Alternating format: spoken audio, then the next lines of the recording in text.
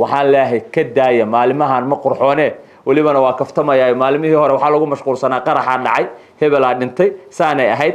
Markii ilaahay dhibtii inaga dulqaaday ay magaaladii amni noqotay meeshay dhallinyaradu dalxiis iyo qurux iyo dowladnimada soo bandhigi lahayd iyagoo caasimadii dalka ku nool oo la rabo dhallinyarada kale ee maamul goboleedyada iyo dalka intiisa kale ku nool inay hormuud u noqdaan inay iyagu noqdaan inay ka sheekeeyaan qubxi iyo qabyaalad. Nin kasta wuxuu samaystay wax aan laaqi u ahayn ummadda oo lagu caynayo ummadda. Waxay dhahaan waxaan ku raadinaa view mu ahaa view iyo biila iga gala iyo waxaas waad dhahdaan sharaf idiima ah. Maalmahan dhammaanteen dalkeenna iyo dhallinyaradeenni wax ku cusub oo qabyaalo la dhaho oo aan dalkaan iyo dadkaan aan anficin weligoodna aan wax u tarin ummadna aan wax u tarin ayaan wax ka dhihi doonaa. Haddaba awalan baaqa koobaad waxaan u dirayaa dhallinyarada degmada kaxad ee guddoomiyaha u ahay anoo wakiilka ah maamul gobolka banaadir khaasatan guddoomiyaha gobolka banaadir ahna duqa magaalada muqdisho. Dhalinyarada degmada kaxda waxaan ka codsanayaa baaqayga inayna ku milmin. Maalimahan waxa socda ee ka socda muxuu ahaa magaalada muqdisho iyo muxuu ahaa degmooyin gobolka banaadir qaybo ka mida oo ah inay dhalinyaradii garan la-yihiin jihada qayb ka mida. Dhalinyarada ma wada ma wada ah dhalinyarada qaybo ka mida. Hadda waxaan ka codsanaya dhalinyarada degmada kaxda ku nool ammaan iyo sharaf iyo cizi waxaa inigu waxaa inigu filan khudbadii ra'iisul wasaaraha ee tobankii dambe. Markuu ku afurayay degmada kaxda uu ka jeediyey wanaagga degmada kaxda iyo dadka degan saa darteed waxaan ka codsanayaa dhalinyarada si khaas uga codsanayaa inayna ku mulmin waxyaalaha socda ee qabyaalada u badan ee xishood darrada ah ee dowladnimada iyo dadanimadaba baabi'inaya. Intaas waa degmada kaxda baaqayga labaad waa labaatanka degmo dhalinyarada ku nool ee gobolka banaadir labaatanka degme ee dhalinyarada ku nool ee gobolka banaadir baaqaan u diray waxay tahay ilaahay ayaa qabaa'ilka sameeyey. Aayadda qur'aanka ah ee suurat lxijraat ee labiyo tobnaad qof kasta ha akriyo yaa ayuha aladiina aamanuu inaa khalaqnaakum min dakarin waunha wajacalnaakum shucuuban waqabaa'ila litacaarafuu ina akramakum cinda allahi atqaakum. Qabiilka ilaahay wuxuu ugu talagalay bes inaad isku aqoonsataan. Se qabiilka waxaa ka horreeya shucuubtu inay asaltaan shucuubtaa ka weyn. Ilahay shucuubtu soo hormariyey haddaba shacbinimada iyo muxuu ahaa shaksiyadda iyo wada iyo midnimada soomaalinimo ayaa waxay ka weyn tahay in qabiil iyo laga sheekeeyo iyo waxyaale aan anfacaynin qabiil weligeed dalkaana ma anficin ummado inaga horreeyena ma anficin inagana inama anficin karo. Welibana inagu taariikhaan u leynahay dhibtu noo geysta dowladnimaduu naga baabi'iyey dadinimaduu naga baabi'iyey halyeeyuu naga dilay. Haddaba dhallinyarada soomaaliyeed meel kasta ay joogaan oo gobolka banaadir ku nool waxaan leeyahay ka daaya maalimahan ma qurxoone welibana waa kaftamaya maalimihii hore waxaa lagu mashquulsanaa qaraxaa dhacay hebelaa dhintay saanay ahayd.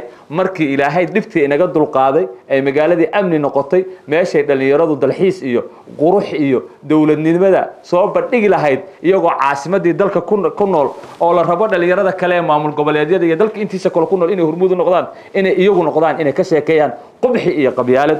Qabyaalad waa ogsoonnah nebi maxamed wuxuu lehay aayadda qur'aanka waa inii soo sheegay tuko badan oo qur'aan ilahay uga hadlay qabyaalada xamiya xamiya jaahiliyu ku tilmaamay ilaahay. Dhaqanka jahligu ku tilmaamay walidaa xadiid nebi baa jira salawatu llahi wasalaamu caleyh dachaa fa inahaa mumtina war waa uraysaaya isaga taga qabyaalada qabiilka maaha qabailku qabiilku waa tacaaruf bes waa la garto. Intaa bes lasu wanaagana la kaalmaysto. Xuma hadduu noqdona la kala qabto. Waandir cashiirata alaqrabiin baa nebi maxamed la salawatullah wasalaamu caleyh u dig qaraabadaada oo xumaha uga dig. Adna nebi maxamed waxaa la amray waad amrantaha oo uswa xasana fii rasuulillah ayaa kuugu sugan.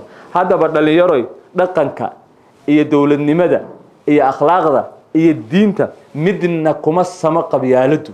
Iyo sida maalimahan dambe dhallinyaradii aan ka rabnay inay dalkan hogaamiyaan ay dadkan jaha u yeelaan oo mustaqbalkii dalkan ah se u dhaqmayaan iyo kuwo badan oo odayaal ah oo wax magarato lagu sheegi karo oo kuwaas u soo yeeriya qabiilka iyo sida uu yahay. Qabiil wax ma taro dhallinyarow qabiilka aan ka leexano waa baaqa labaatanka degmo ee gobolka banaadir dhallinyarada ku nool ee sharafta le aan ugu baaqayo dhallinyarada gobolka banaadir ku nool waa dhallinyarada ugu qiimaha badan ee ugu sharafta badan ee ugu aqoonta badan gobolka banaadir. In yar oo ka mid ah in yar oo dhallinyarada ka mid ah ayaa si qaldan qabiilkii u fahmay oo qabyaalad u bedelay oo waxaan iyaga qusaynin iyo waxaan iyaga muxuu ahaaye ahayn wax laaqigooga aha ayay ku dhaqmaan. Waalidiintiina ha xanuujinina. Say waxay nagu soo bareen waa ogtihiin. Dowladnimo waxaynima soo barin hadda waxay rabeen ininku markaa wax barataan. Dowladnimada cusub ee casriga ee soomaaliya intaad ka qayb qaadataan inaad iyaga anfacdaan. Intaad guriga u fadhiisateen oo tigtooyo samaysateen ood f b samaysateen inaad maanta oo dhan qabiil iyo qurun iyo waxaan dalka iyo dadka udan ahayn naftaadan udan ahayn akharadaadana udan ahayn aad ka shaqayso dhallinyaro sharafkuuma ah. Lamo baaqayga wuxuu kaluu dhallinyarada ku nool maamul goboleedyada dalka.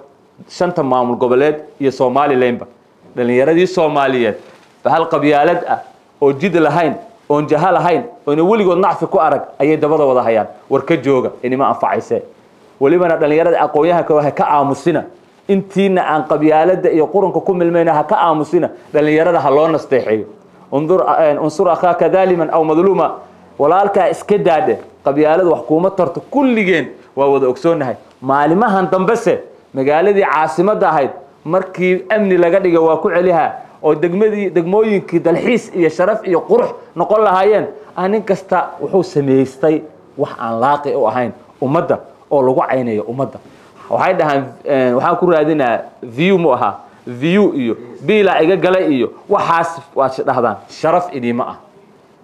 Nabi maxamed salawaat ullahi wasalaamu calayhi wuxuu leeyahay ajmil alaba war arsaaqada allaa bixiya allaa bixiya ee u raadi si qurxoon. Hadday arsaaqad kaa gashay meesha arsaaqadaad ka heshay dadaad isku dirto iyo qabyaalad waxba ka faa'iidi maysid sharafna kuuma ah. Dhalinyaro qabyaalada ha laga joogo kuwa maamul goboleedyada ku nool kuwa ku nool muxuu ahaa somalilan iyo dhalinyarada soomaaliyeed ee n f d ku nool iyo kuwa ku nool somali state.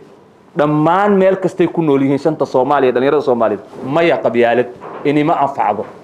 Awowyaheenna ma anficin. Inagana inama anfacdo. Qofay anfacdana ma jirto. Taariikh xumo waxaan ahayna ka faa'iidi mayno. Haddaba dhalinyaro qabyaalada aan ka dayna dalkeena waa haddaan sharafteena iyo cizigeena rabno taariikhdaada ha fool xumaynin. Qabiil wax kuuma galee labo. Dhalinyarada qurba joogta ah ee soomaaliyeed. Meel kasta ha joogaan ama yurub ha joogaan ama muxuu ahaa u s a ha joogaan. Dunida meel kastay ka joogaan shanta qaaradood maya war qabiil maya iska daaya war dalkii qabiil anfici maayo dhalinyaro qurba joogay dalkii waxaa anfacaya dowladnimo. Midka aad xiriirka la leedahay iyo midka saaxiibkaa ah iyo midka walaalkaa ah intaba muxuu ahaayey amar ama muxuu ahaayey far dowladnimadu inay midda asalkaa tahay. War qabyaaladu meesha ay ka taagan tahay nebi maxamed qowlkiisa ayniigu celcelinaa dachaa fa inahaa mumtinu dhaha way uraysaa waa qurun ee isaga taga. Ma anfacayso.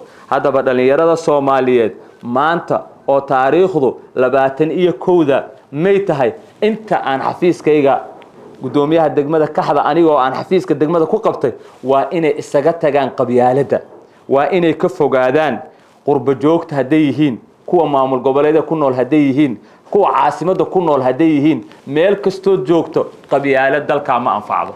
Dalkan maxaa anfaca? Dowladnima anfacdo. Dowladnimada shidaalkeedu waa maxay? Waa dhallinyarada waa aqoontiina waa waxaad soo barateen. Intaas ayaa anfacda. Haddaan intaa maanta samayn weyno soddon sanaan dowlad la'aanna. Ma dowlad la'aanna ku jiraynaa dowlad la'aan waad ku ilmo dhasheen waad ku guursateen waad ku ilmo dhasheen waanad ku dhalateen weli ma wadaysaan wixii dowladda bi'iyey dowladnimadeenna waxa baabi'iyey ee cadaaladii inoo diiday ee waxbarashadii inoo diiday ee caafimaadkii inoo diiday oo dunida inaan gaaro inoo diiday waa qabyaalad iyo qurun iyo waxayn anfacayna oo ay wadaan saddex afar shan inaga mid ah oo dhallinyaro ah waa inaan gacmaha ka qabanaa waa inaan diidnaa waa inaan dhahnaa ka joog. Midaan dalkana udan ma aha adigana udan ma aha sababtoo ah ilaahay qur'aankiisa wuxuu ku leeyahay kuntum khayra umma ukhrijat linnaasi ta'muruuna bilmacruufi watanhawna cani lmunkar waxaad tihiin ummadihii aan soo saaray midda ugu khayr badan maxaa ugu khayr badateen?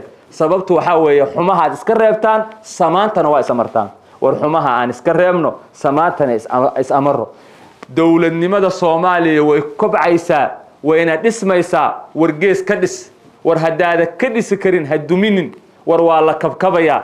War dhallinyaradeenii qayb khawaarija intay kaxaysatay ay dowladnimo la'aantii kaga faa'iidaysatay oo loo soo kaxaystay mooryaan muxuu ahaa niman shisheeye oo diintii si qaldan u dhigaaya diinta saliimkaa dadka ma dishee ayay duurka jiraan oo diyaarado ku rushaynayaan waa wiilo soomaaliyeed. Shalay waa fiicnaayeen. Waa la dhayalsaday.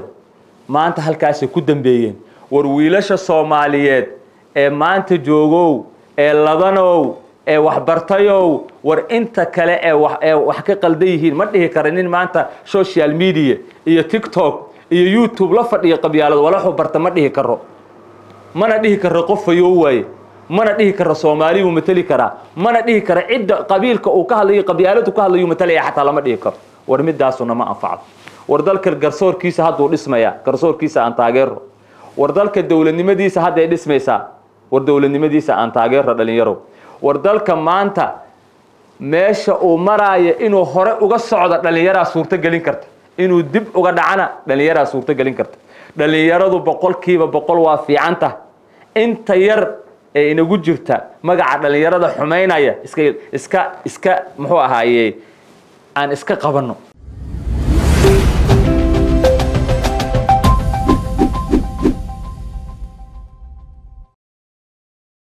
Shirkadda beeko waa shirkadda ugu weyn ee bixisa adeega korontada soomaaliya. Beeko waxa ay koronto siisaa koonfurta soomaaliya sida banaadir jubbaland hirshabeelle iyo koonfur galbeed. Beeko waxa ay siisaa adeeg koronto oo dhammaystiran dhammaan toddoba iyo tobanka degme ee gobolka banaadir iyo goobaha ugu waaweyn magaalada muqdisho sida airboorka aadan cadde dekedda muqdisho iyo dhammaan safaaradaha iyo hay'adaha caalamiga ah